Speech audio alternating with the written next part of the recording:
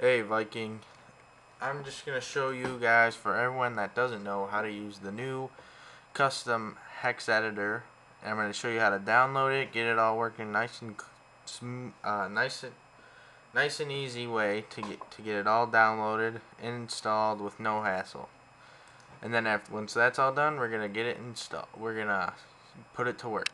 Now you see here, if you go to the download drivers you're going to click on that. You're going to come to this page where it says download drivers, try a new beta custom driver editor. You're going to click on the Viking 360 preset editor. It's going to open up a pop-up uh, box for your zip file. You're going to click save. Now if you're using Internet Explorer, you're going to want it to save to your desktop or or you could just open it in your WinRAR folder. Make sure you have WinRAR installed first. After that, you're gonna you're gonna minimize this. You'll see a folder. You will see two things labeled Setup and Win Viking 360 installed. See, mine are in a folder because I moved them there. If you want, you can make right click, new folder, title it Viking software. That's what I titled mine. After that, you're going to double click on the, Vi the Viking 360 installer or the setup. They're the same thing. Mine's already installed, but I will remove it just to show you. I'm going to remove it real quick. And then I will install just to show you. Alright, see now it's uninstalled. Now I'm going to double click it. Now it says the installer guide will set will guide you through the steps required to install the Viking 360 on your computer. Now you're going to click, click next. And mm, this is just if you want everyone to have this on your computer or just you, if you have multiple users. Click next, next, and now it's installing. It takes mm, less than a minute.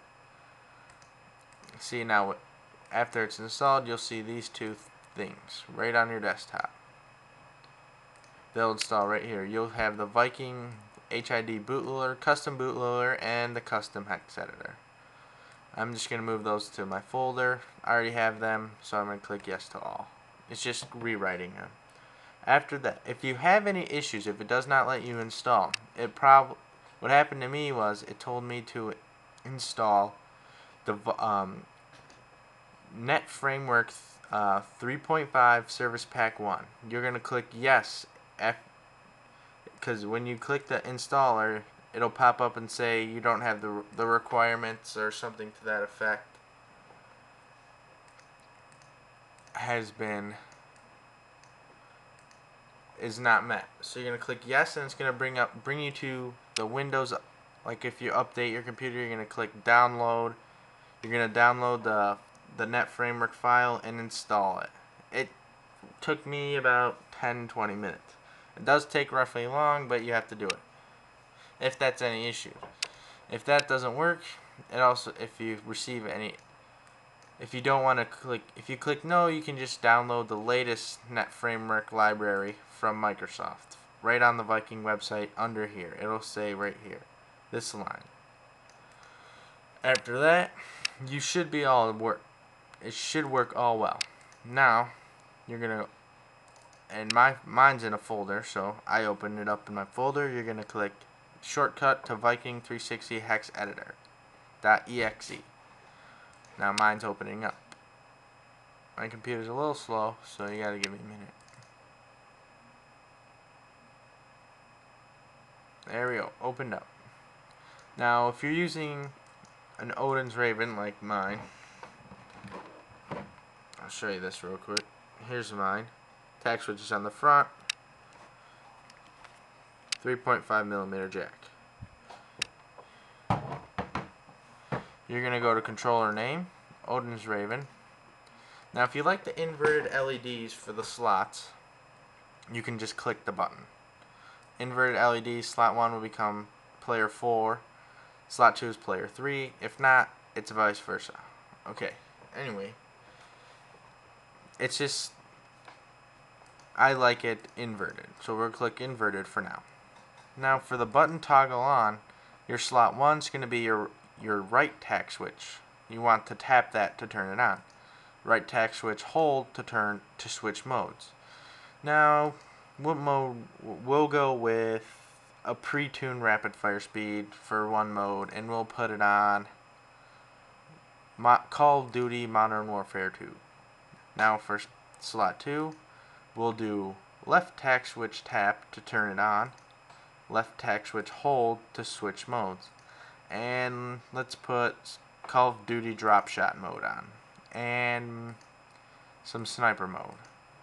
Once you're all done with that, you can go up to save file, then you want to save it, and then you can save it to your desktop you're going to click the desktop icon or in my desktop I have a folder Viking software where I save all my stuff. You can save it as anything you like and it automatically gets saved in a .hex file.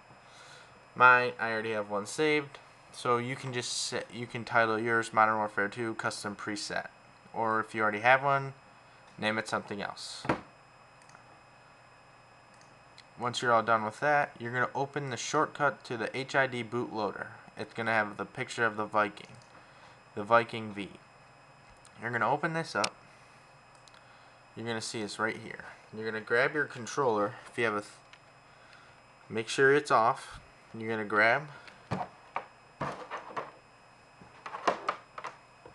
your your 3.5 millimeter jack. Make sure it's plugged into your USB port. Plug it in you're going to turn your controller on, hold the right tack switch if you're using a Odin's Raven. If not, hold the sync button and turn it on.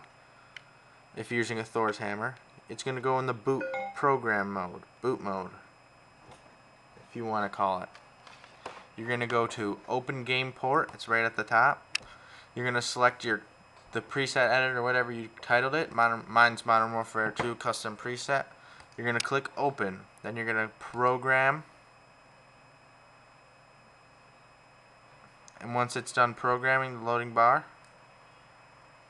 then you're going to reboot your controller. You'll hear the windows ding ding. You can and now your controller's ready to work. Right tack switch on off. Works just perfectly. That's all you guys gotta do. I hope you enjoyed this tutorial on how to make it work. I'll see you guys next time. Subscribe, rate, comment. Peace out.